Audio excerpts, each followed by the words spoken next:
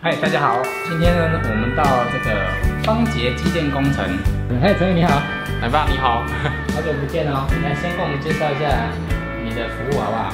我的服务范围就是简单来说就是水电，只要有用用电的需求啊，像是 家里的电线要抽换啊，或是家里的装修水电要问啊，以及厂房的水电维修啊，都可以找我们，因为我们。常常在跟医院配合啊，我们医院大概做了三做了快要二十多间，快三十间了。对我们主要都是专攻于医美诊所，然后以及妇产科。妇产科就是在板桥以及桃园这一带，然后医美诊所就是米兰、米兰、米兰桃园以北的店面的水电装修都是我们做的。企业的话就是以就是像是国瑞汽车两两间公司都是我们长期配合。以及像是瓦特水箱公司以及食品大厂卢德公司，也都是我们就是他们的厂房也都是我们在保养。你之前就是在从事这个行业吗？不是，我之前其实是在化工厂当研发人员。对。哇，所以你以前是念化工系的吗？我以前是念化学系，不是化工系。化学系的。哇，那怎么会后来变成做水电呢？哦，因为我觉得我。水电是我的家业啦，我从小没事就是跟我爸去做水电，对，然后就做做来做来做一做，然后后来上了大学，甚至到了研究所就没有再去工作了。然后是自从我踏去外面社会之后，然后看到我爸好像身体有点不太舒服，觉得好像我们家这三十年的企业应该要有人可以传承，对啊，所以依然为。毅然而然觉得回家来做，所以你其实学历还蛮高的，可是后来来做水电。听说你有把这段故事写在网络上吗？哦，对。你把它写到网络上之后，有没有带来什么样的效果？就是大家大家会觉得觉得这这个故事很曲折，就是很不一样，人生的际遇很不一样，所以大家都会保持一个好奇态度，说怎么会想要回来？但我觉得做任何工作，只要你态度正确，不管是会流汗的，或是动头脑的，我觉得都是无所谓。我家其实算是很传统的水电，就是以前就是像是别人一叫，然后我们就去的那种，然后根本就不懂得怎么样，就是去经营自己的公司。然后像是像常常常常别人介绍的话，有一些介绍的话就是会参差不齐啊，对啊。然后像我回到家的时候，就决定说要做把家里架设网网站。因为我觉得架设网站是把传统变成企业的一个一一小块就是踏板啊，对啊。然后我就从奶爸的奶懒人包里面，然后学习如何架设网站。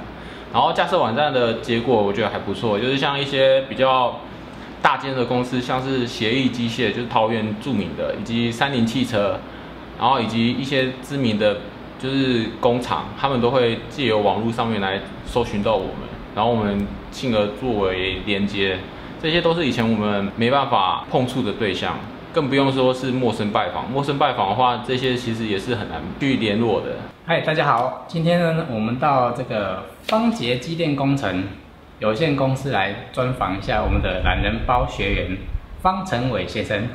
Hello，大家好。方成伟呢，诶，以前呢是一个呃硕士生，然后有。考上博士嘛？对，没错。对，哦，其实学历相当高哈。那所以后来他回来继承家业，就是做水电。有很多人觉得很讶异啊。不过呢，他越做越好。然后呢，呃，从这个完全没有 logo 嘛，哈。对，完全没 logo。对，哈，就是回来之后希望把他这个家族产业把它企业化的经营哦。所以你看 logo 也也设计好了，然后网站也架设好了，然后 blog 也好了。然后呢，其实从网站上就会有一些以前自己去陌生拜访开发找不到的一些客户呢，都会从网络上来找到他们。啊，这个其实就是网络行销的其中一个蛮大的好处。是。而且呢，你看他这份企划书里面啊，其实它的建构还蛮完整的，好像薄薄的一本企划书，可是它里面有写的他们的公司简介哈。如果你是做网站不晓得网站怎么做的朋友哈，你可以参考一下。它这个 DM 这一本企划书里面呢，它就它就是一个很详尽的一个网站的架构哦。你看公司简介这个很重要，要让人家彻底了解你的公司主要做什么样的服务，然后提供哪些产品，然后还有这个服务的宗旨哦，就是他们做他们自己的事业的主要的宗旨，然后主要的营业项目哦，营业项目要写的非常清楚，人家才知道遇到什么问题的时候可以找你提供服务。好，然后还有这个就是合作客户，这个就是我们常讲的客户见证。